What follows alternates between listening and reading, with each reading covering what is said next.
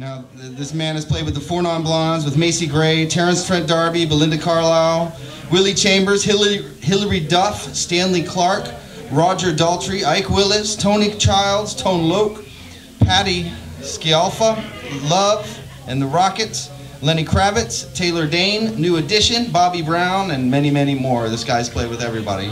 So let's give a warm round of applause for my good buddy, Mr. Louis Metoyer. Come on. Thank you, man. Thank you.